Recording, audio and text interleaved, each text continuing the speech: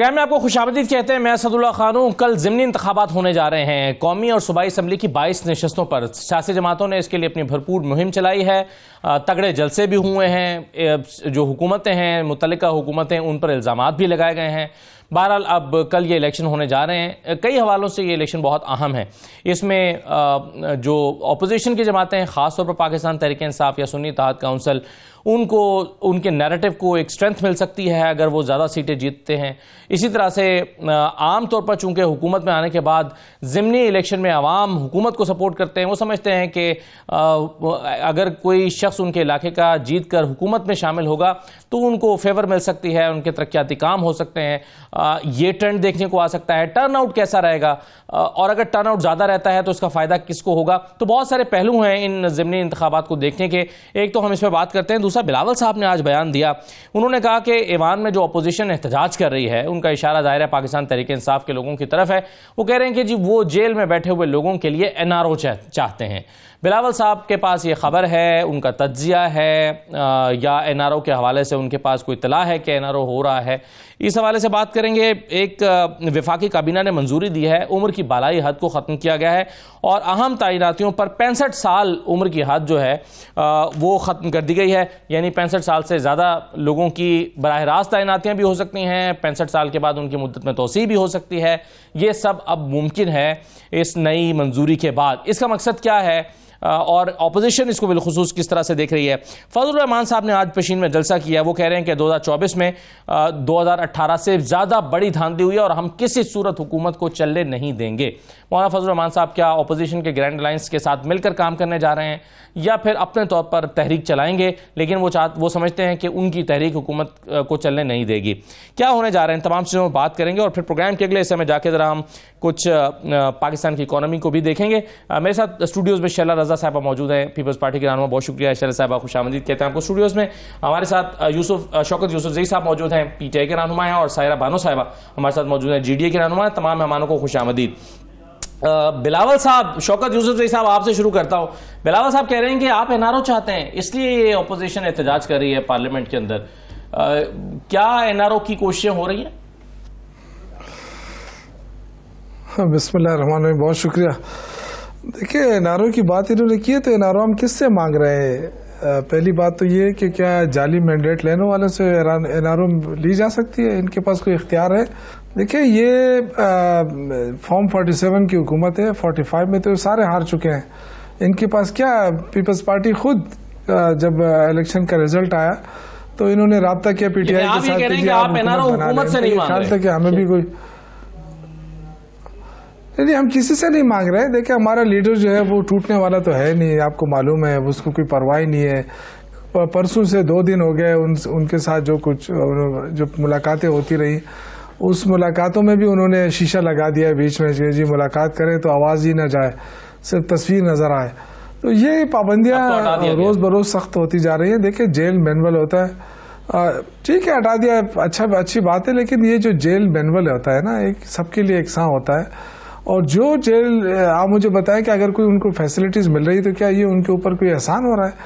Jail manual होता है और वो कोई हुकूमत पे तो नहीं होती? बाहर आके कुछ जो आ, ये रंगीले आके टीवी पे जो जिस तरीके से बातें करते हैं कि जी वो इमरान खान ने तो इतना खाना खा लिया।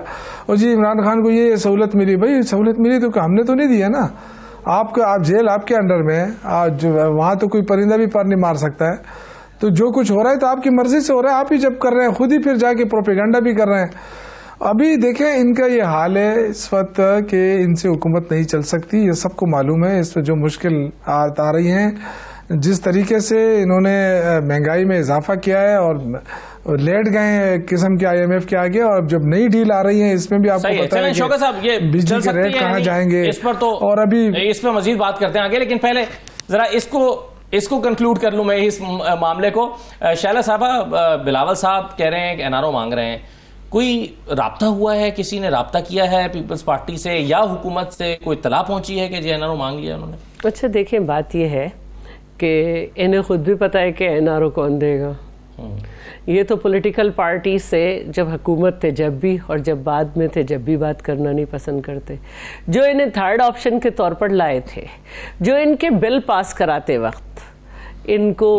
इनके नंबर पूरे करते थे फ़ोन कर करके जिनके लिए कहते थे हम एक पेज पे हैं जिनके लिए कहते थे कि भाई हमें मसला ही नहीं है तो अब उन्हीं क़ुवतों की तरफ़ ये देखना चाह रहे हैं और बाकी रही असेंबली की बात तो देखिए जितना भी बड़ा आदमी हो, असेंबली में हंगामा करने से नहीं होगा।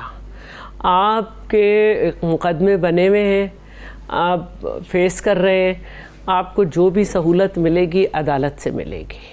मेंबर होते तो आपके दौर में तो प्रोडक्शन ऑर्डर नहीं होते थे आपको प्रोडक्शन ऑर्डर कर लेते हैं। और असेंबली में आके शोर करवाना, चलने न देना और ये तासुर देना कि भाई सब कुछ उन्हीं के लिए हो रहा है। असेंबली वाले तो खुद भी परेशान हैं कि क्या करें। उनका एक दिल चाहता है कि वो असेंबली के मामलात में सेट होके चलें। हर प्रोसेस में जो है वो पार्टिसिपेट करते हैं। स्पीकर का इलेक्शन हो डिप्टी स्पीकर का हो वज़ी अजम का हो, सदर का हो, हर चीज़ में पार्टिसिपेट करते हर प्रोसेस में। फिर कहते हैं, हम इसे नहीं मानते। फिर हंगामा करने शुरू हो जाते हैं। और बदकस्मती से बस स्पीकर की सुननी पड़ जाती है उन्हें। तो वो उनको समझ ही नहीं आ रहा है लाए अमल ही नहीं है। अब एक शख्स कहता है सऊदी अरब पे अटैक कर देता है। अंदर से जो है वो आवाज़ आती है नहीं नहीं ऐसा कोई मसला नहीं है और ये गलत है उनकी अपनी राय है। वो फिर कह देता है कि मैंने यही किया। फिर उसको कैंपेन दे देते मेरी हैं। अपनी राय है पार्टी की राय नहीं है। जब आप पार्टी डिसिप्लिन में होते हैं तो आप अपनी राय पब्लिक नहीं करते। हाँ। आपके पास बहुत सारे पार्टी के अंदर फोरम होते हैं जिसमें आप बात सही है। मतलब अब दिलचस्प सूरत हाल ये है सायरा बानो साहबा हुकूमत समझती है कि अपोजिशन नहीं चल पा रही और इनकी पार्टी नहीं चल पा रही। तातारड़ साहब भी रोज आके कहते हैं कि ये कंपनी नहीं चलेगी। और अपोजिशन समझती है कि हुकूमत नहीं चल पा रहा पा, पा रही। तो कौन चल पा रहा है?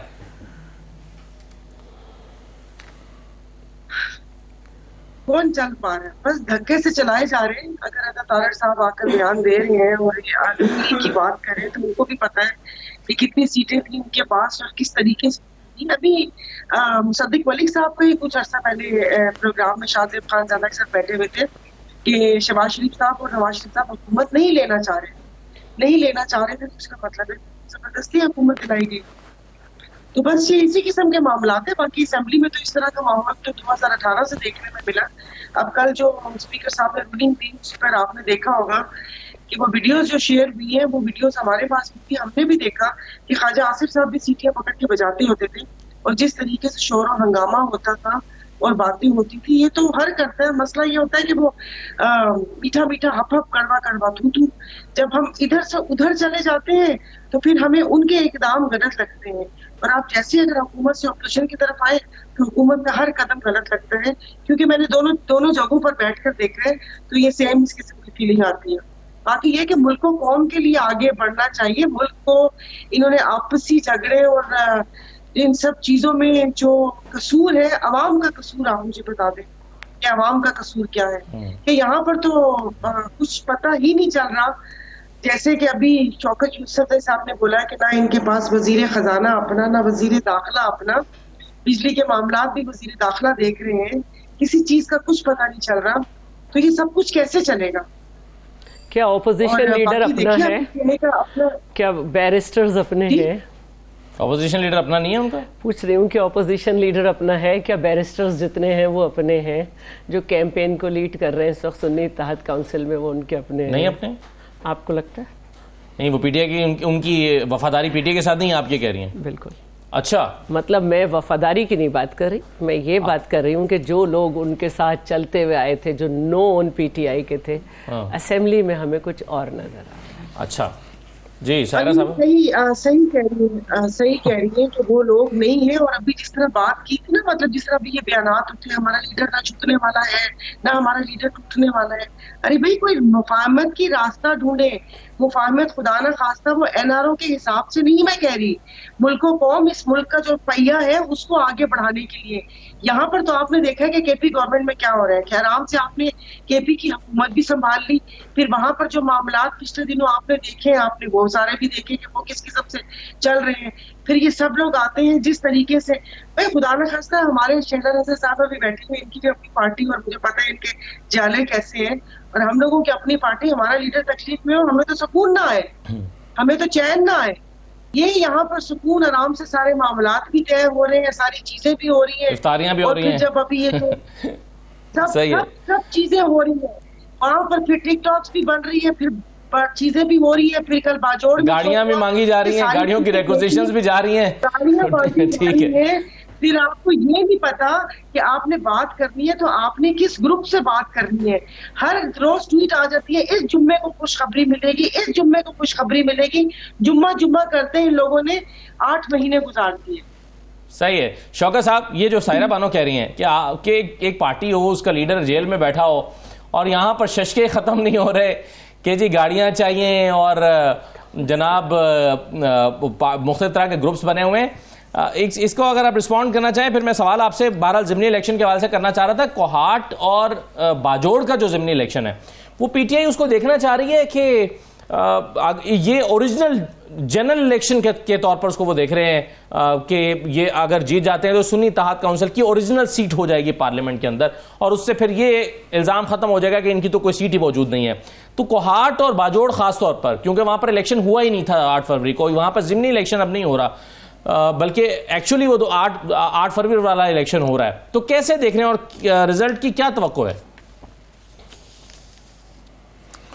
देखिए, जहाँ तक ज़मनी इलेक्शन की बात है, इंशाल्लाह खैबर पख्तनख्वा में आपको पता है कि बड़ी वाज अक्सरियत है और इंशाल्लाह ताला बड़े आराम से सीटें निकल जाएँगी।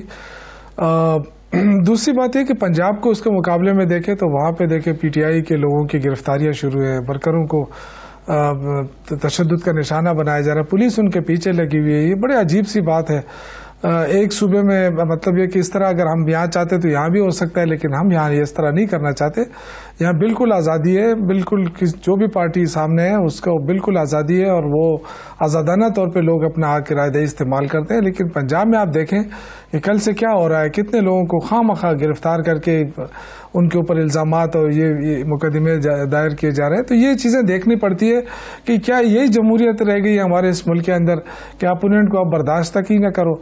तो बाकी रह गई ये बातें कि जी यहाँ पे हुकूमत बनी है गाड़ियाँ मांग रहे हैं फलाम मांग रहे हैं। देखिए एक होते हैं जो हुकूमत चलाने के लिए ज़ाहिर मैंडेट हमें सूबे का मिल चुका है। हमें तो पंजाब का मैंडेट भी मिला है, हमें मरकज का मैंडेट भी मिला है, जो हम जो हम जदोजहद कर रहे हैं, वो इसीलिए तो हम कर रहे हैं कि भाई ये तुम ये पंजाब का भी तो हमारे पास, अब ये तो नहीं है कि पुख्तनख्वा में हमें मैंडेट मिल गया तो हम खामोश आकर बैठ जाएँ कि जी हमें तो मैंडेट मिल गया, अब हमने हुकूमत करनी है। हमने हुकूमत करनी है, हमने 2013 में भी हुकूमत की थी यहाँ पे, जबकि और बाकी हमारे साथ नहीं थे। तो हम ये तो ये भी नहीं कर सकते कि हम कहते हैं, जी पंजाब हमसे ले लिया, मरकज ले लिया, हम खैर पख्तनख्वा छोड़ देते हैं। तो ये चीज़ें ऐसी है कि हर बंदा अपने एंगल से देखता है। हमने खैबर पख्तनख्वा के लोगों ने इतना ज़बरदस्त मैंडेट दिया है कि वो दूसरी बात शैला सारे लोग उसको चोरी करना भी चाहते थे तो नहीं कर सके। अपने हैं? उमर अयूब साहब का नाम लिया बैरिस्टर्स कह रही हैं वो तो बैरिस्टर गौर की तरफ़ शायद इशारा कर रही हैं। कह रही हैं कि जो आपके लोग हैं वो क्या आपके अपने हैं? ये लतीफ कोसा साहब से आप पूछे जो इनको छोड़कर हमारे पास आए हैं। एक पॉलिटिकल वर्कर है और एक, एक, एक बड़ी तो तारीफ़ आपकी रखते हैं जमाती लोटों पे वर्कर मुझसे रहे हैं, इस मिलती तरह शुरू से। वो वो वो वो नहीं नहीं मैं आरज कर रहा हूँ ना इसमें से देखें ये तो अब इनकी बातें प्रोपेगेंडा इस मुश्किल वक्त में अगर कोई आके वो आपको ऐसे पार्टी के तो साथ मिल रहा है तो निकाला है उन्हें पार्टी से। तो लोटों पे आपने पार्टी से अच्छा निकाल दिया अच्छा तो फिर नहीं। एक और जमात में चले गए देखिए उन्होंने लोटापन शुरू किया था तो निकाला ना ये ये लुटापन शुरू किया था। ये इनका एक इनका मौक़िफ़ अजीब सा दस्तूर है। कि difference of इनके पास नहीं, नहीं रखते। डिफरेंस ऑफ़ ओपिनियन इनका- एक तरफ़ होती वो वो चाहते थे कि नहीं, नहीं, नहीं। इंतखाबात होने चाहिए। डिसिप्लिन एक तरफ़ होता है अच्छा और एक मिनट जी मेरी बात सुन। मेरी बात सुन ले शैला साहब मेरी बात सुन ले यही कह रही हूँ आप आपने अपनी बारी में बोला तो करें ना। रही हूँ पीपल पीटीआई में कितने बारी में बोला करें प्लीज़ चलें बताएँ शौका साहब। जी। अच्छा सर करें करें ये मुझसे मुझसे सवाल सवाल किया था प्लीज़ सवाल कर लिया था ये- जी मैं- चलें। मुझे शौक नहीं है जब भी मुझसे बात हुई है किया है। चले। जी। देखें इनके पास जो भी जाए जो लोग अभी मिले इनके साथ अब मैं नाम नहीं लेता हूँ क्योंकि मेरे दोस्त भी है उसमें तो वो सारे लौटे हैं इनके पास जो आ गए हैं। और जो इनसे चले जाते हैं आप आप देखें कि लतीफ कोसा जैसा बंदा वर्कर ये इनकी जमहूरियत है। ये ये इनकी जमहूरियत है। आप अंदाज़ा करें ये जमहूरियत के दावेदार हैं। और ये जमहूरियत को कहते हैं कि हम जमहूरियत के पैरोकार हैं और जमहूरियत पीपल्स पार्टी ने जितने जमहूरियत को नुकसान पहुँचाया मेरे ख्याल से और किसी जमात ने नवाज़ शरीफ ने भी इतना नुकसान नहीं पहुँचाया जितना इन्होंने पहुँचाया। क्योंकि इन्होंने जमहूरियत के अंदर करप्शन डाली और टेन परसेंट का नाम कमाया। और जो जो इन्होंने कराची का हाल किया इस वक्त आप देखें मेरे भाई कि वहाँ कोई फिर नहीं सकता है कोई शहर के अंदर कोई चल नहीं सकता है ना उसका मोबाइल महफूज है न उसकी ज़िंदगी महफूज है न उसकी जान महफूज माल महफूज। और ये चौबीस ये चौथी दफ़ा ये इकतदार में आ रहा है इन्होंने कमाल कर दिया है। इतना इतना कमाल किया है कि मैं कहता हूँ कि कराची जैसा शहर जो रोशनियों का शहर था किस जमाने में पीपल्स पार्टी ने उसका भी बेड़ा गर्क कर दिया। यानी इंडस्ट्रियल स्टेट है। और वहाँ ये हालात है कि वहाँ न गैर मुल्की महफूज है न मुल्की महफूज है। आप हालात देखें ये, ये यार प्लीज़ आप खामोश हो जाए ना। आज एक बहुत ही तशवीशनाक अपने खबर बारे आई में है। बोला करें आपको क्या हुआ है पूछूँगा शैला साहब आप से। कैसी जमहूरियत पे यकीन रखने वाली हैं? है, हूँ हैं। छोटे छोटे छोटे छोटे जुमले आप दे रही है ना? तो बस हैं। मेहरबानी हूँ करें। मैं सायरा बानो साहब के पास आता हूँ। एक ठीक है, फिर मैं भी बोला करूँगा। चले फिर मुझे हैं। साहब शौकत साहब एक ब्रेक लेने दें मुझे। ये हुकूमत ने जो विफाकी काबीना ने फैसला किया है कि अहम तैनातियों पर पैंसठ साल की उम्र की हद को खत्म किया जा रहा है। इसकी बुनियादी वजह क्या है? सायरा बानो साहबा के पास मैं आता हूँ फिर शैला साहबा से भी इसका जवाब लेते हैं। ब्रेक के बाद।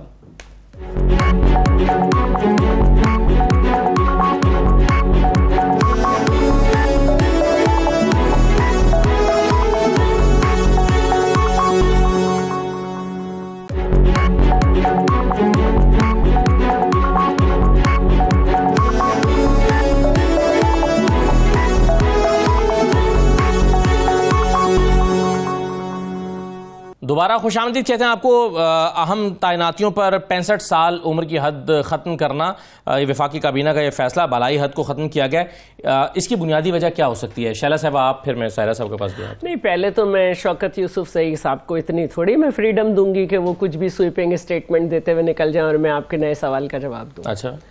बिल्कुल। दस साल में 79 बिलियन जो कर्जा था केपी में इनके शानदार दौरे हुकूमत में 1000 बिलियन हो गया। फैक्ट्स एंड फिगर निकालें आपको हर महीने क्राइम रेट आपको और उसके बाद जो 16 महीने की आपकी हुकूमत है, केपी उसमें में सबसे ज़्यादा मिलेगा। मैं सिंध की बात कर रही हूँ। अच्छा एक मिनट एक मिनट एक मिनट। वाहिद सूबा एक मिनट ये जो आपने एक के हज़ार बाद बिलियन बताया अपना बिजली घर बनाया ये एक मिनट, सबसे ज़्यादा बिजली बनाई आपने और कराची को भी? 100 मेगावाट दे रहे हैं सबसे से बेहतरीन सहूलतें हमारे सिंध की है सबसे ज़बरदस्त इंफ्रास्ट्रक्चर बिलियन की बात हमारा है, है और 1500 गौस पाशा तो की जो किताब है उसमें उन्होंने लिखा है कि सबसे सबसे बेहतरीन जो गवर्नेंस है, जिसके 28 पैरामीटर्स हैं, वो सब सिंध ने टच किए हैं, जिसको चेयरमैन बिलावल ने ए आर वाई में बैठ के बुक भी दिखाई थी। तो मेरा कहने का मतलब यही है कि आप ज़बरदस्त, जो ज़बरदस्त, इस वक्त मुल्क में। दहशतगर्दी है जिसका सेरा इस पे आपको जा रहा है कि आपने वहाँ पे जो लोग कैद थे उनको बुला के और यहाँ पे उनको कौमी धारे का और वो सब कुछ करने की बात की हम आज जो दहशतगर्दी है जिसका सेहरा आपकी तरफ़ जा रहा है आप उसको भी जो है ना जो कराची में दहशतगर्दी हुई और जिसको सिंध पुलिस ने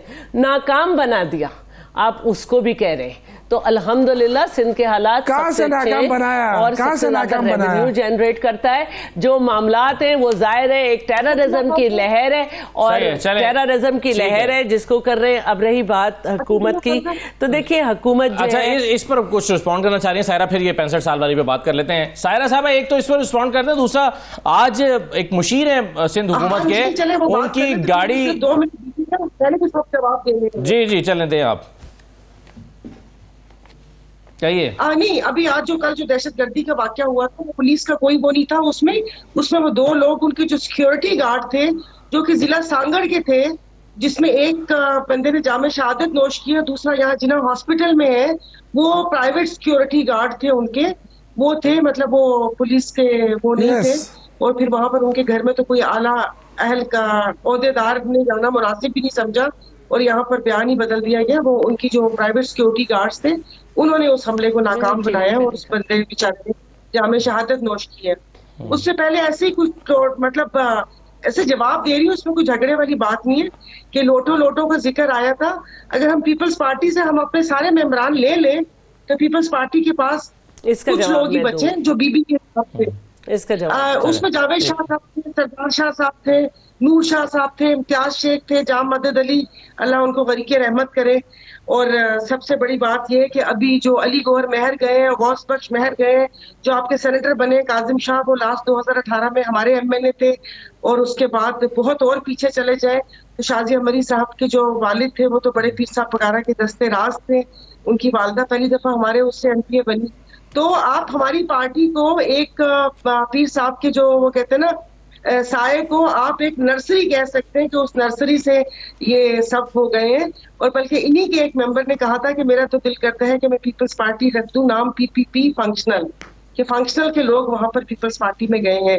और बाकी सिंध का इंफ्रा इंफ्रास्ट्रक्चर की आप बात कर रही हैं आप शायद कराची की बात करेंगे लेकिन अगर आप ज़िले सांगड़ की तरफ़ जाएँ और इस वक्त वहाँ पर जो जिस किस्म के हालात हैं और जो सब कुछ हो रहा है वो अब ज़ाहिर है अब सारी बातें अब मैं आ, आपको ज़्यादा पता होगा कि जिस तरीके से वहाँ पर सिर्फ़ तीन चार लोगों की हुकूमत है उन लोगों ने जिनों के ऊपर हुकूमत की हुई है कि जो उनके आपस के एमएनए हैं उनके ऊपर एफआईआर दर्ज हो रही है। मैं ज़िले सांगड़ की बात कर रही हूँ मैं अपने हल्का नंबर एन ए दो सौ दस की बात कर रही हूँ कि जिस तरीके से वहाँ पर है सही है। चलिए इसका जवाब देना चाह रही हैं सारे जो लोग आए हाँ। जैसे जैसे उनको मेच्योरिटी आई और वो उनकी ज़िंदगी में ही निकल कर आए और इलेक्शन लड़ा और फिर हमारी पार्टी हो सकता है यही ठीक लतीफ खोसा साहब ने सोचा हो कि मैं तो समझता था कि ये जमहूरी पार्टी है। उन्होंने सोचा नहीं आप है ना इसमें ये बता दें आप इसमें ये बता दें जब इनकी पार्टी पहली दफ़ा इलेक्शन में गए तो जावेद हाशमी और शाह महमूद कुरैशी जो एक दूसरे के खिलाफ लड़ते थे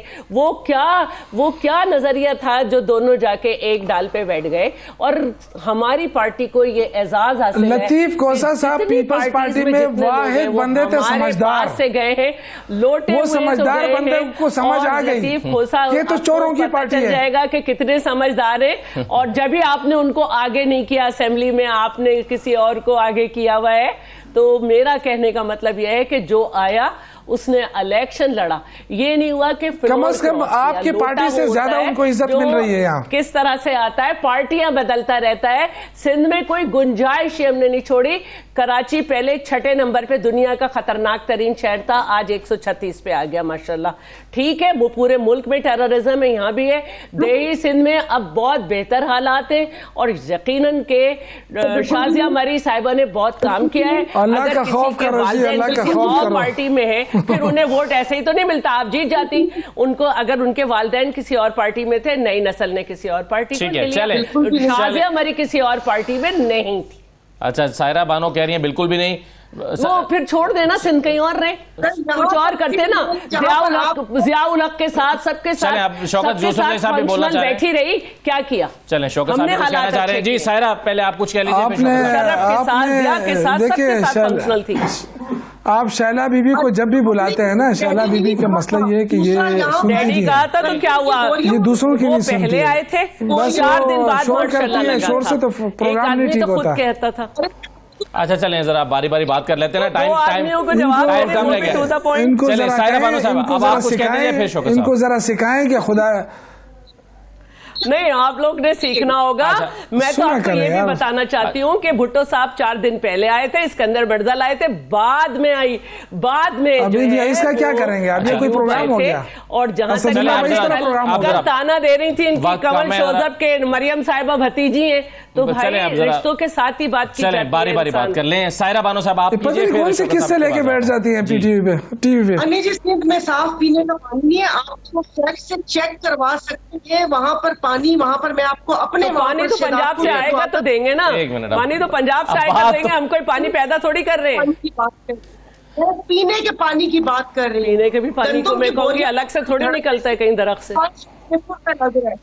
अब ये बात भी करने दे रही वहाँ पर सफीना के ठेके ये हाल है अब ये- ये बात ही नहीं करने दे रही है वहाँ उनको। ठेके वहाँ पर आपने जिन लोगों के नाम पूरे पाकिस्तान में हर जगह मुख्तलिफ़ अच्छा बात तो करने दे रहा आप गवर्नमेंट आप हर जुमले का अलग से जवाब देंगे तो बात ही नहीं होगी ना शैला साहब। आप बात उनको करने दे फिर आप जवाब इनके साथ हमें क्यों बुलाते हैं आप? क्यों बुलाते हैं। शैला साहब? ये ये इनकी वो- अब उम्र का तो तकाजा भी है हम हमारा भी हम भी साठ साल क्रॉस कर गए अब तो कम अज कम मेच्योर होना चाहिए इंसान थोड़ी को छोटी जब टीवी पे बैठे मसला।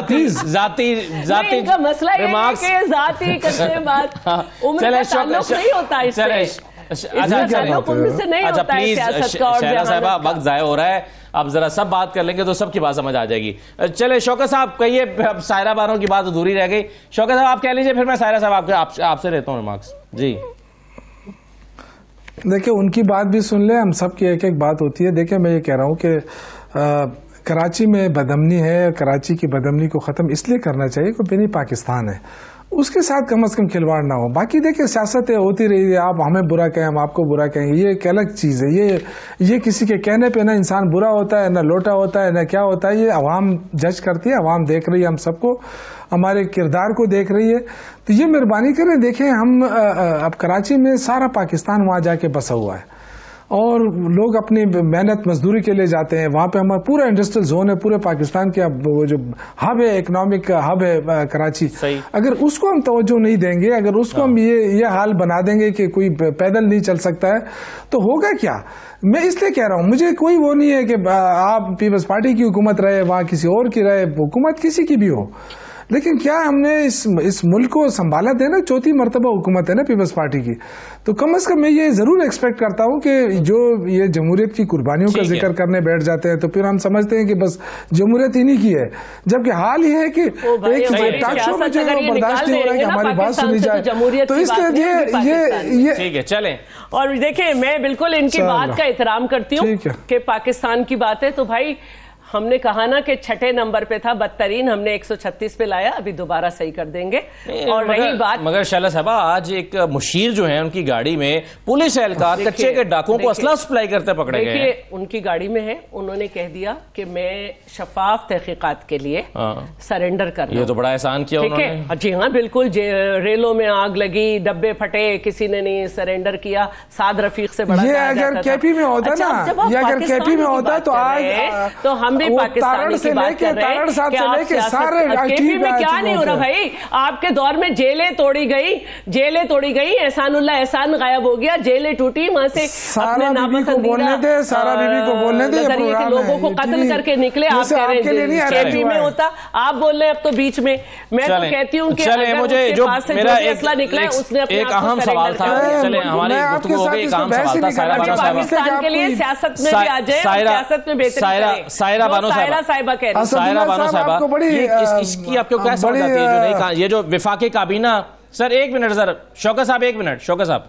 ये सायरा साहबा ये विफाकी काबीना ने फैसला किया पैंसठ साल की उम्र को खत्म करने का अहम तैनातियों के लिए। इसका क्या मकसद दिखाई देता है? फिर इसका तो एक ही मकसद दिखाई दे रहा है ना। आज का हमारे पाकिस्तान को नौजवान मायूस होंगे जो ब्रेन ड्रेन हो रहा है कि जो यहाँ पर मायूसी है कि ना यहाँ पर जॉब्स हैं तो वो पे पढ़ के फिर कहीं जाता ही और जिस बेचारे के वसाइल नहीं होते, वो आप डिंकी में, आप उनको समंदर में, फिर उनके हम दुखी दिल से कह रही हूँ कि जनाजे उठाते हैं। इसी तरीके से लोग जा रहे हैं। जब ये इस किस्म की पॉलिसीज़ आएँगी कि पैंसठ से ऊपर तो फिर आप नौजवान, जो हमारे मुल्क के नौजवान जिनके हाथों में मुस्तकबिल है, उनको कहाँ एकोमोडेट करेंगे? अभी भी ये जो पीआईए का है, कि ये जो फिर अभी ये जो गुलगुला सुना था कि सरमायाकारी आ रही है, सरमायाकारी आ रही है या आप अपनी चीज़ें बेचने के लिए, लोग देखने के लिए आ रहे हैं? तो इस पैंसठ साल की जो भी है इसकी कोई कोई आप कोई कोई दूसरा तशरी या मतलब नहीं निकलता। वो यही है कि किसी को नवाजा जाएगा। जिस तरीके से जब डीजी सिविल एविएशन का इश्तेहार आया था तो वो इश्तेहार तीन दफ़ा आया था। पता चला कि वो उनकी तो एज गलत बताई थी। फिर उसके बाद इश्तेहार आया। फिर पता चला तालीम का मसला है। मैं इसकी गवाह हूँ इसलिए कि मैं एविएशन कमेटी में थी और मेरे पास सारे वो एविडेंस थे कि वो जो एड था न्यूज़पेपर में वो तीन दफ़ा आया था। और उससे पहले आपने कच्चे के डाकुओं की बात की थी कि उनके मुशीर साहब की गाड़ी से वो निकला था। वो कहते हैं ना कि हमें खबर है लुटेरों के सब ठिकानों की शरीके जुर्म ना होते तो मुखबरी करते। हम्म, ठीक है। जी शैला साहब दीजिए जवाब। अच्छा देखिए जहाँ. तक पैंसठ साल की उम्र की बात है तो इसको देखना पड़ेगा। और मैं इसको आ, मानती हूँ कि जब केपी में भी एक तिरसठ साल उम्र कर दी थी तो बहुत ज़्यादा मसाइल हुए थे और नौजवानों में एक बात होती है। अब जहाँ तक गाड़ी से एक चीज़ पकड़ी गई है। एक आदमी ने रिज़ाइन कर दिया है कि मेरे लिए तहकीक़ात शफाफ तरीके से कर लें। तो मैं जो हूँ ना वो उस सियासतदानों में से नहीं हूँ जो चोर डाकू चोर डाकू करते रहें और साबित कुछ ना कर सकें। ये साबित होगा?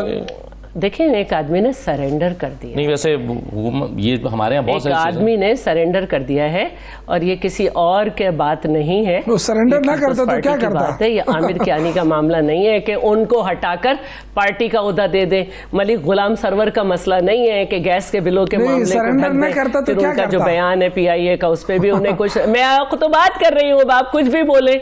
ये जो है हमारी बात है ये कोई उसकी बात नहीं है कि ट्रेन के डब्बों में आग लगी और इमरान खान जो कहते थे कि साद हाँ। रफीक जो है वो इस्तीफा दे दे सौ एक्सीडेंट हुए तो थे तीन पे उन्होंने कहा था कि इस्तीफा दे तो दे ये तो अभी पता चला है कि चार अरब रुपए की सब्सिडी किसानों को जो सिंध में दी गई थी उसका पूरा रिकॉर्ड गायब हो गया है ऑडिटर जनरल मांगते नहीं अभी मिला। पता तो चला है उसकी तो तो तहकीकात देखिए अभी तो आपको पता चला ना कोई ऐसी बात तो तो नहीं है। सबसे पहले सिंध ने छियालीस सौ रुपए जो है सब्सिडी सब्सिडी की बात की। हाँ। सिंध का किसान खुशहाल है सिंध में ज़्यादा क्रॉप्स हुई है पहले भी तो खुशहाल है तो वो चार अरब रुपया कहाँ गया? उसका रिकॉर्ड नहीं इनके घर है से खाना जा रहा है क्या? अब सब रिकॉर्ड होता है। उससे पहले भी ये बातें होती रही थी कि है ना चूहे खा खा गए और ये हो गए ऐसी? कोई कोई ऐसी बात नहीं थी। जितनी गंदम थी चलें। नहीं उतना उनकी बात की गई। फाइनल फाइनल रिमार्क्स नहीं थी कि जो हैं? जिन लोगों ने खाया है क्या जिन लोगों ने खाया है वही इंक्वायरी करते कमी हुई क्या सिंध में? क्या सिंध में क्या हुई? अगर कोई खा गया ये देखे ना ज़बरदस्त आर्गुमेंट है। वो कह रही है अगर कोई खा गया कोई सब्सिडी खा गया या गंदम खा गया तो सिंध में कोई कमी तो नहीं हुई ना। गंदम अगर चूहे खा गए थे तो सिंध में कमी तो नहीं हुई ना? कितने लिए? क्योंकि हम तो हम तो अपने हम तो अपनी सायरा बानो सर बानो। हमें लेनी चले। जी जी जी। तो क्या? लास्ट कमेंट जी सायरा बानो। असदुल्ला खान साहब आपका प्रोग्राम ऐसे लग रहा है जैसे कोई तालीम बालिगा का प्रोग्राम है। तो अब मैं क्या कह सकती हूँ मतलब शैला रजा सभा हमारी इतनी सीनियर है, वो एक वो स्पीकर भी रह चुकी है सिंध असेंबली में। लेकिन फिर थोड़ा नेशनल असेंबली और सूबाई असेंबली में फ़र्क होता है। हर इंसान अपनी बारी पे बोले, जवाब दे। लग रहा है कोई क्लास चल रही है, कोई पिकनिक है, हँसी मज़ाक में बातें कर रहे हैं और जवाब दे रहे हैं। बहुत सीरियस इशू है जिसको मज़ाक में उड़ाना बिल्कुल भी नहीं चाहिए। तो- यहाँ पर किसान बदहाल है दस हज़ार बिल्कुल ढाई मन का रेट साढ़े आठ हज़ार तो साढ़े आठ हज़ार रुपए भी जो उसमें उसमें छह सौ रुपए बोरी का है। मैं आपके पास मेरे पास सारे सबूत हैं। लेकिन मसला ये कि यहाँ पर वो सबूत लेकर जाया किसके पास जाए? पानी उनका रोका जा रहा है। सही है। अब देखें इस चले, बस एक मिनट, बस खत्म हो रहा है, मुझे मेरे पास शौकत साहब कुछ है, comment देना तो चाहते हैं आप लोग जीते ना आपके लोग छोड़ के हमें क्यों चले जी हैं? शौकत साहब। क्या कमेंट दूँ? ये ये सुन रही है हमारी बातें सुन ये देखें पहली बात हुई कि इन्होंने हमारी कोई बात ही नहीं बोलने ही नहीं दिया। खुद ही बोलती रहती है। देखिए इस वक्त मैं ये कह रहा हूँ कि बहुत बड़ी बेचैनी है पूरे कौम के अंदर। ये जो मैंडेट चोरी करके बैठे हैं मुश्तरिका पहले एक एक करके लूटते थे मुल्क आप दोनों मिलकर लूट रहे हैं मुल्क को। आवाम परेशान है ये बात सुनने के लिए तैयार नहीं है। ठीक है चले बहुत शुक्रिया। शौकत हाँ, यूसुफ जी साहब सायरा बानो साहबा। शैला साहबा बहुत शुक्रिया प्रोग्राम में शिरकत करने के लिए। वापस आते हैं तो देखते हैं आईएमएफ ने पाकिस्तान को जंगजदा या जो तनाजात का शिकार मुल्क है उसकी फहरिस्त में शामिल क्यों किया है और उसके का क्या इम्पैक्ट होगा? डॉक्टर खाकान अजीब साहब से बात करेंगे हमारे साथ रहिए।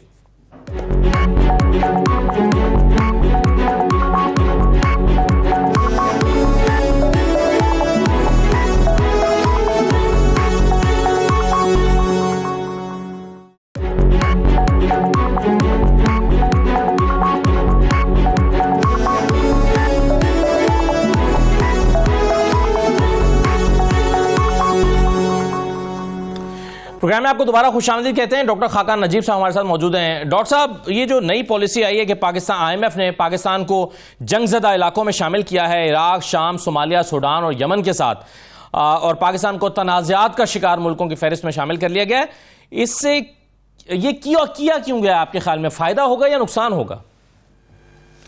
देखिए, एक तो हम हम आईएमएफ की इस वक्त एक एंगेजमेंट में है। ये एंगेजमेंट पाकिस्तान के लिए फ़ायदेमंद साबित हुई है। मैं हमेशा ये कहता रहा था कि उस वक्त जून में हमें फौरी तौर पे चले जाना चाहिए था। और आप गए, आपके ज़र मुबादला के ज़खायर चार से आठ अरब डॉलर, आपके जो करंट अकाउंट का खसारा था, वो एक अरब डॉलर पे महदूद हो गया है पिछले साल। ये पहले आठ माह में चार अरब डॉलर था। रुपए की जो मूवमेंट है, वो संभल गई है। इस वक्त दो सौ अठहत्तर पे है। It had gone down to 307 और लास्टली आप इन्फ्लेशनरी प्रेशर्स भी टूटना शुरू हो गए हैं. But having set that Pakistan के जो कलीदी मसाइल हैं वो बड़े डीप है। पाकिस्तान के जो फाइनेंशियल्स चाहिए जो इनफ्लोज 24-25 अरब डॉलर के वो कोई और आ, हमें बगैर आईएमएफ की अम्ब्रेला के देने को तैयार नहीं है। और फिर हमारी जो डिफ़िकल्ट एनवायरनमेंट है जिसकी वजह से यू नो जो हमारे पे टेररिस्ट अटैक होते रहे हैं आ, इन सब चीज़ों को देखते हुए जो रिस्क हैं वो हाइटन हैं। हमेशा ये फंड ने फील किया है। बट आई स्टिल थिंक कि इस सारे डेटे को भी देख के जब मैं पाकिस्तान को आप इराक या सूडान या इजिप्ट के साथ टाइप करते हैं I think that's a little carrying it too far ऐसे हालात शायद पाकिस्तान में आज भी नहीं है।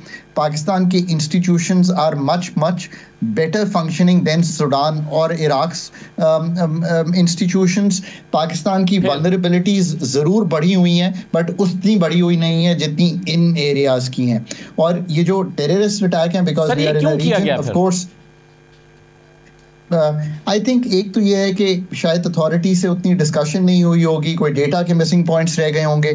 और दूसरी बात यह है कि पाकिस्तान में रीसेंट एक वेव आई है टेररिज्म की और दूसरा वलनरेबिलिटीज़ बढ़ी हुई हैं। अब उन्होंने इसको क्लासिफाई करना मुनासिब समझा। So we'll go with it but इसका कोई बहुत ज़्यादा इम्पैक्ट ओवरऑल हमारी जो उनके साथ इंगेजमेंट अब होगी uh, या चल रही है उस पर नहीं आएगा। But I think authorities should take it up with and से इससे जो इन्वेस्टर है उसकी उसकी जो एक तरजीही फहरिस्त है वो भी तो शायद तब्दील हो जाएगी। इन्वेस्टर ये नहीं सोचेगा कि आईएमएफ कह रहा है कि ये तनाजात का शिकार मुल्क है तो यहाँ पर इन्वेस्टमेंट करना सेफ़ नहीं है। वो आईएमएफ की को ज़ाहिर है अहमियत देते हैं लोग। तो ये नेगेटिव पॉइंट रहेगा क्या पाकिस्तान के लिए? Asad once we go into a new program with them जो कि एक लंबी ड्यूरेशन का होगा तो ये थिंग्स जो है वो डाई डाउन कर जाएँगी। अभी भी पाकिस्तान को यूरो बॉन्ड की भी और कमर्शियल की भी जो रसाई है वो हासिल नहीं है बिकॉज़ जो फिच मूडीज और एस की रेटिंग्स है वो अभी भी अपग्रेड नहीं हुई। इवन विद यू नो जब हम फंड के प्रोग्राम में चले भी गए हैं फिर भी नहीं हुई। सो so, एक तो बहुत ज़रूरी है कि हम नए प्रोग्राम में जाएँ और वो प्रोग्राम बहुत अच्छा हो। अब डिपेंड सब इस चीज़ पे करेगा कि प्रोग्राम की जो हद खाल हैं, जो कॉन्टोर्स हैं, जो फ्रेमवर्क है, वो कैसा है। जब तक कि ये प्रोग्राम हो नहीं जाता आई थिंक इन्वेस्टर कॉन्फिडेंस ज़रूर ये आ गया है कि हमने ऑप्ट कर लिया है कि हम जाएँगे। इसीलिए आपने सऊदिया का भी देखा कि इन्वेस्टमेंट आ रही है, या इन्वेस्टमेंट की एटलीस्ट बातचीत शुरू हुई है, एक इंगेजमेंट शुरू हुई है। पर ये बात आपकी दुरुस्त है कि हमें हद तोड़ कोशिश करनी चाहिए थी। द की क्वेश्चन इज़ कि अगर तो ये रिपोर्ट पहले डिस्कस हुई थी पाकिस्तान से, या Pakistan authorities were in the know I think they should have gone inside कि ऐसा ना करें। And you know they could have raised their voice. Now even i think they should so that at least ये public हो जाए एक response आ जाए पाकिस्तान से कि हमने किया है रेज और हमारी वल्नरेबिलिटी लेकिन क्या आप समझते हैं कि हुकूमत पाकिस्तान को इस सिलसिले में आईएमएफ के साथ डील करते हुए ये नुकता भी उठाना चाहिए कि आपने हमें इस फहरिस्त में क्यों शामिल किया है? क्या पाकिस्तान प्रोटेस्ट करेगा या आप चलें प्रोटेस्ट का लफ्ज मुनासिब नहीं है? तो क्या इस बात को इनिशिएट करेगा बात करेगा इसे डायलॉग करेगा आईएमएफ के साथ? असद सो मैंने चूँकि पाकिस्तान का वो तेरह सोलह का प्रोग्राम कंप्लीट करवाया मैं बाद में भी उन्नीस के प्रोग्राम में भी हेल्प की थी मैंने जब हम नहीं कर पा रहे थे इसको साइन देखिए बड़ी क्लियरली बहुत खुल के डिस्कशन होती है चीज़ों की जब वो क्लोज डोर मीटिंग्स होती हैं तो उसमें ज़रूर ये रेज करना चाहिए और उनका पॉइंट ऑफ़ व्यू तो समझे ना क्योंकि हम अभी उनका माइंड क्लियरली रीड नहीं कर पा रहे कि why have they put us in that वो रिपोर्ट बावन पेज की है मैंने सरसरी तौर पर पढ़ी भी है। ठीक है वनरेबिलिटी ज़्यादा है टैक्स ज़्यादा है बट स्टिल क्लबिंग नहीं है। सो बिल्कुल खुल के इस पर बात करनी चाहिए। But you know more important ये है कि पाकिस्तान अपना एक रिफॉर्म प्लान तो उनके पास लेकर जाए ना। ज़्यादा जो इस वक्त कॉन्फिडेंस बिल्डिंग मेजर्स अगर आपने लेने हैं इन्वेस्टर के साथ तो आप पाकिस्तान की एनर्जी का पाकिस्तान की ग्रोथ का डीरेगुलेशन का पाकिस्तान की एस का आप तो प्लान रखिए। अब देखें आप पी पे बात करें व्हाट इज़ बियॉन्ड पी अब आपने एनर्जी सेक्टर का फ्रेमवर्क क्या बनाना है? सो so, आप ये प्लान अगर अपने सामने रखेंगे बिकॉज़ आई की तरफ़ से बहुत कुछ आ गया है कि नेक्स्ट प्रोग्राम कैसा दिखेगा। बट अभी तक पाकिस्तान की सिर्फ़ बात यही है कि आई की टीम आएगी वो असेस करेगी हम बात करेंगे। What is our vision because fund के प्रोग्राम अच्छे तब चलते हैं जब कंट्री ओनरशिप आती है कंप्लीट जब कंट्री की टीम खुद बहुत बासलाहियत और प्रोफेशनल होती है और ये सारे एरियाज़ देखे ना physical monetary exchange rate Pakistan का एनर्जी सेक्टर पाकिस्तान के एस और पाकिस्तान की प्राइवेट सेक्टर इन्वेस्टमेंट इन सब एरियाज़ पे you need to have really smart people जो उनसे डील कर रहे हो। क्यों मैं ये कहता हूँ? वहाँ से दस बारह पी एच डी खातिन हजरात आते हैं वो हर सेक्टर के सेक्टर स्पेशलिस्ट हैं। आपको भी पाकिस्तान की टीम ऐसे ही बनानी पड़ेगी। वरना तो आप एक स्ट्रेट जैकेट का जो प्रोग्राम उन्होंने तो बड़ी क्लियरली अभी डिफाइन भी कर दिया है कि वो क्या चाहते हैं पाकिस्तान सही है। और मैं असद आखिरी बात ये कहता हूँ कि अगर आप ये बिल्कुल सही है। खान साहब ये ये हार्श होगा। जी। जी जी। ठीक है। डॉक्टर साहब ये बताइए कि आईएमएफ के आने से फाइनेंस मिनिस्टर ने स्टेटमेंट दी है कि एक्सचेंज रेट पे फ़र्क नहीं पड़ेगा। यानी ना कम होगा ना ज़्यादा होगा रुपया। वो कह रहे हैं कि डी वैल्यू नहीं होगा। लेकिन क्या बेहतर भी नहीं होगा? देखिए मैं हमेशा कहता हूँ कि जो स्मार्ट पॉलिसी मेकर्स हैं मैं कभी भी रुपए की मूवमेंट पर कोशिश करता हूँ कि मैं कमेंट ही ना करूँ। मैं कमेंट इस चीज़ पे करता हूँ कि जो रुपए के महरकत हैं उनको देख लेते हैं। अगर तो आपकी सप्लाई साइड बेहतर होती चली जाती है। आप हम्म। पच्चीस अरब डॉलर अरेंज कर लेते हैं। आपका ज़र मुबादला के जखायर बढ़ना शुरू हो जाते हैं। आपकी एक्सपोर्ट्स पिकअप करना शुरू कर देती हैं। आपकी रिमिटेंसेस की एक ग्रोथ दिखाई देती है। और आप ये सब कुछ अगर कर देंगे तो आप मुझे खुद ही बताए ना कि रुपए पे प्रेशर टूट जाएगा, आपकी सप्लाई साइड बेहतर हो जाएगी। ये तो बड़ी डिमांड एंड सप्लाई की चीज़ है। अब अगर ये सारे काम आप नहीं कर पाते लेट से कि एक्सपोर्ट्स नहीं पिकअप करती वर्ल्ड मार्केट नहीं रिस्पॉन्ड करती, और दूसरी तरफ़ तेल की कीमत जो है वो सौ डॉलर पे चली जाती है तो आपका इंपोर्ट बिल बढ़ जाएगा डॉलर की डिमांड आपकी ज़्यादा हो जाएगी तो रुपए पे प्रेशर आ जाएगा। Let fix your economy the currency will take care of itself आपने अभी थोड़ी सी फिक्सेशन की है एक होल्डिंग पैटर्न में ले आए हैं मुल्क को तो करेंसी स्ट्रांग होना शुरू हो गई है। आई थिंक ये बहुत ज़्यादा पाकिस्तान के जो हम जैसे पॉलिसी मेकर्स हैं इनको केयरफुल रहना चाहिए इस चीज़ पे। रुपए की मूवमेंट को मार्केट फोर्सेस पे छोड़ देते हैं और हम रुपए की जो फंडामेंटल्स हैं उसको ठीक करने की कोशिश करते हैं। एंड देन लेट सी के how the economy plays out right बहुत शुक्रिया डॉक्टर खाकान नजीब साहब प्रोग्राम में शिरकत करने के लिए एक और मामले की तरफ़ बढ़ते हैं। अमेरिका ने पाकिस्तान का जो दिफाई प्रोग्राम है, खासतौर पर जो मिसाइल प्रोग्राम है, उसके लिए आलात और सामान फराम करने वाली चार कंपनियों को बैन कर दिया है। उस पर पाबंदियाँ आयद कर दी हैं। और उस पर ज़ाहिर है दफ्तर खारजा ने, पाकिस्तान के दफ्तर खारजा ने अपना शदीद रद्दमल का इजहार भी किया है। ये अमरीका ने क्यों किया है? और पाकिस्तान जिसको हुकूमत के दावे के मुताबिक आलमी तनाई से निकाल लिया गया था और अमरीका के साथ ताल्लुक बेहतर हो गए थे, अमरीका ये क्यों कर रहा है, जिसको पाकिस्तान जस्टिफाइड भी नहीं समझता। हमारे साथ डॉक्टर कमर चीमा साहब मौजूद है खारजा अमूर के माहिर है। बहुत शुक्रिया डॉक्टर कमर साहब, खुश आमदीद। डॉक्टर साहब, ये आपके ख्याल में इंतहाई कदम क्यों उठाया गया है? और ये किसी तरह भी जस्टिफाइड हो सकता है? बहुत शुक्रिया असद साहब। देखिए, पहली बात तो ये है कि ये बेसिकली अमेरिकन कहते हैं कि ये जो एक्सपोर्ट कंट्रोल रजीम्स हैं, उसके ऊपर अमेरिका का कंट्रोल है। यानी कि जितनी भी टेक्नोलॉजी ट्रांसफ़र होती है वो बलिस्टिक मिज़ाइल प्रोग्राम्स के हवाले से हो वो ओवरऑल मिज़ाइल प्रोग्राम के हवाले से हो सो वो एक कुछ ताकतों ने अपना कंट्रोल रखा हुआ है।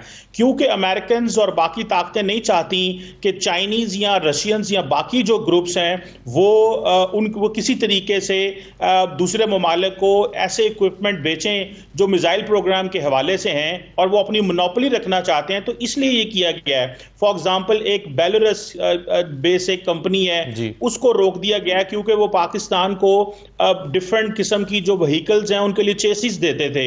इसी तरह तीन चाइनीज़ कंपनी को रोका गया है क्योंकि वो कुछ वाइंडिंग मशीन्स के हवाले से कुछ कंपनीज़ होती वो हमारी स्पार्को के साथ काम करती थी।